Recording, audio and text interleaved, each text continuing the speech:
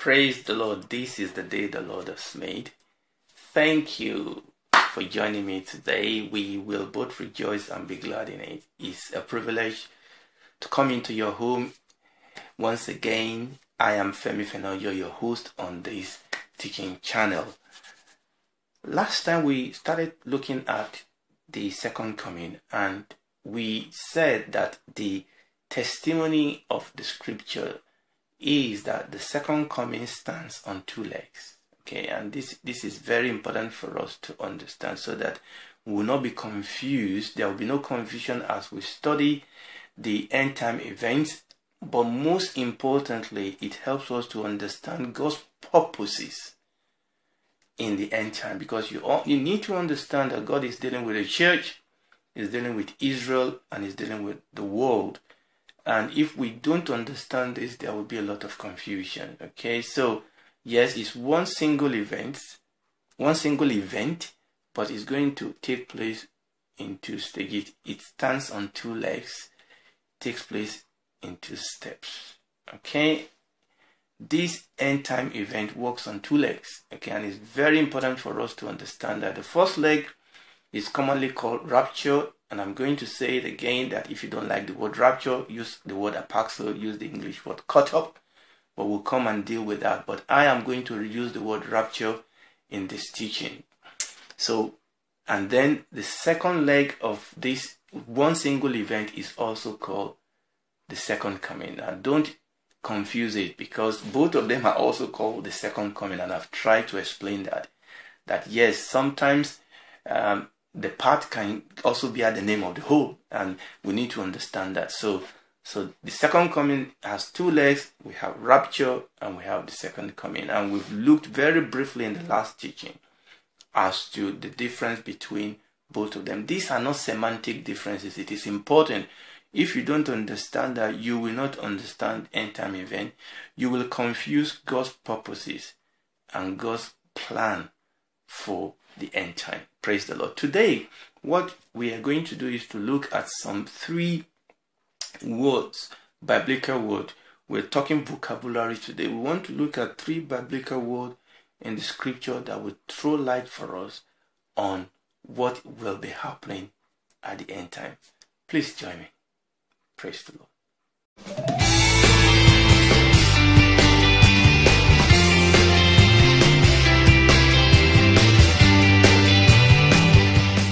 Praise the Lord, you're welcome back. So, what we want to do today is to start. I'm not sure whether we'll be able to look at the three of them. We want to look at three Greek words that will help throw light on the second coming of the Lord Jesus Christ. They are biblical words um, that will help us to understand what the Lord is doing in His second coming. Now, I'm not a Greek, neither am I the son of a Greek but there are materials out there that will help us to um, understand some of these things. So if you if I'm not calling this word right, please pardon me. Um, but I'm going to put them on the screen over there so that you can see the spelling and then we can study this together. So the first thing is that I'm going to give you the Greek name of these three words and then we are going to look a little bit into their meaning especially as they apply and throw light for us on the second coming of the Lord Jesus Christ. So I'm going to give you the three of them and then we'll take them one by one. If we can't finish them in this teaching, we'll continue them by the grace of God, the next one. So here are the three words, and I'm going to be paying attention to my note here. So the first one is parousia, parousia. The second one is apocalypsis, apocalypsis, and the third one is epiphania. Epiphania. So I'll go through that again. Parousia, apocalypsis, and epiphania. So these are three common words that are used with respect to the second coming of the Lord Jesus Christ. That there are some words we are going to define later, for example, rapture, tribulation, and things like that. But these three words are very important for us to establish at the beginning so that we can then build on them. Now, before we go into each one of them, let me first of all say that number one, these words were not peculiar to Christianity.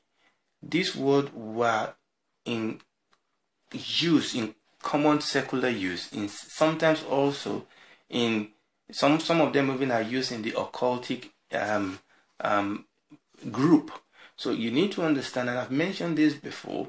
You know, we, we talk about the word mystery. Okay, you you have to understand that sometimes occultic people use the word mystery, but the Bible uses them in a different ways.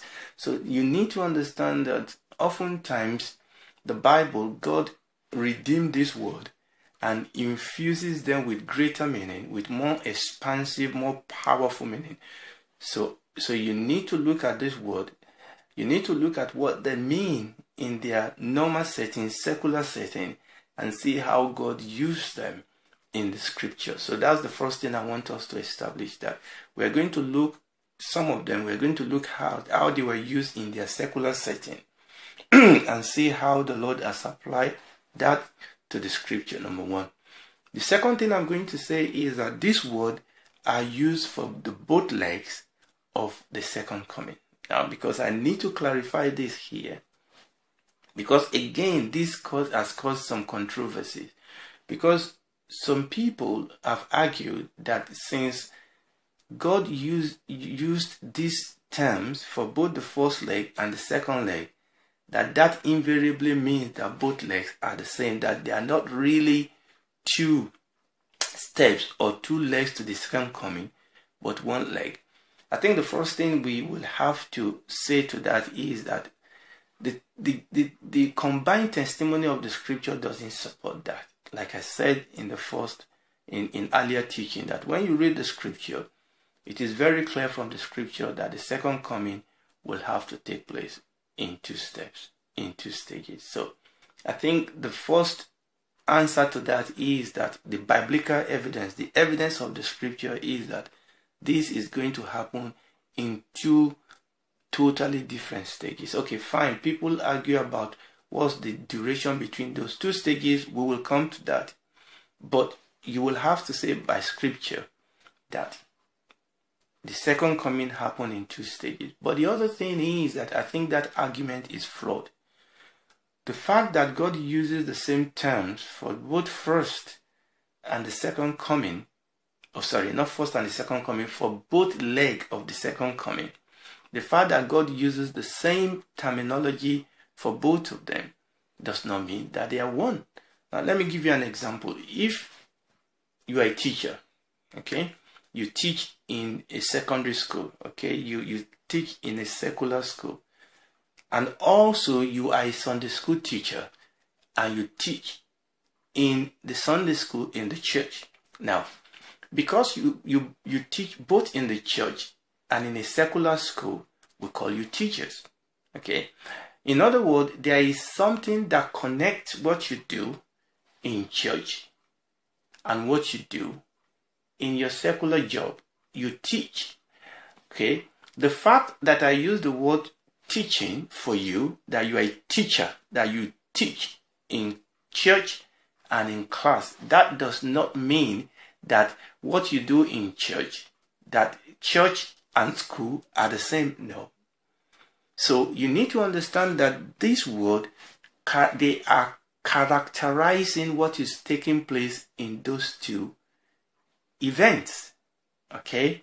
So the what brought them together is what that something is happening in these two events that is identical is a characterizing trait it's not bringing them together what we are saying is that this lady or this gentleman teaches in church and also teaches in secular class. So, in a sense, there's something he or she is doing that is the same in both settings. And that is what these three words bring out for us.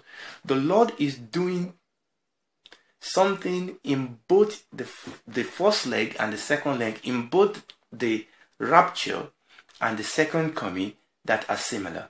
But like in, in, in, in my example, even though I am teaching in church and I am teaching in class, but I'm teaching to different people.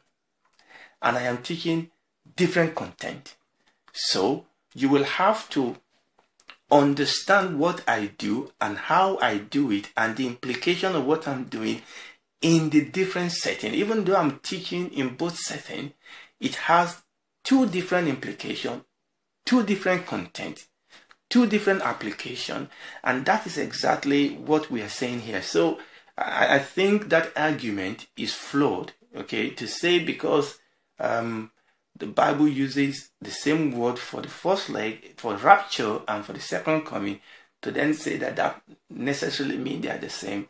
No, I think that is fraud.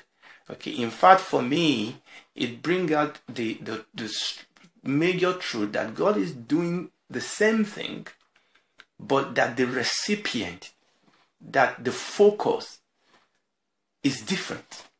And I think that is very important. In fact, for me, that throw light for us on the focus of this two. Like, remember what I said in the last teaching. We need to understand that in the end time, God is dealing with the church, He's dealing with Israel, and He's dealing with the world too. So if we get it wrong, and people do get it wrong, if we get it wrong with respect to God's plan and purposes for the church and for Israel and for the world, we are going to get it all confused with respect to the end time. For me, the end time is a tool for me understanding the church, understanding Israel, and understanding the world. Okay, the church is not Israel. Israel is not the church. Okay, I know there is a teaching out there where that people call replacement theology, where people feel that the church has taken over from Israel and God is done with Israel. I'm sorry, that is not biblical. You cannot prove that by the Bible, and I've mentioned this before. God has not forgotten Israel. God still have a plan and a purpose for Israel. God still have something to do with Israel. So you need to understand that. Don't get them all confused. So, so these words, these three words that we are going to be considering, parousia, apocalypsis, and epiphania, Yes, they are words that are common in secular use in biblical days, but they are God used them as He always does and apply them to this event that is going to happen in the end time. And number two, all the three of them are applied to both rapture and to the second coming, but they have different focus, they have different application. Praise the Lord. I know I've not gone into any one of them, we've just laid this foundation. I think I'm going to stop here. And the next teaching, by the grace of God, will begin to take each one of these words one by one. Thank you for joining me today. God bless you. Bye.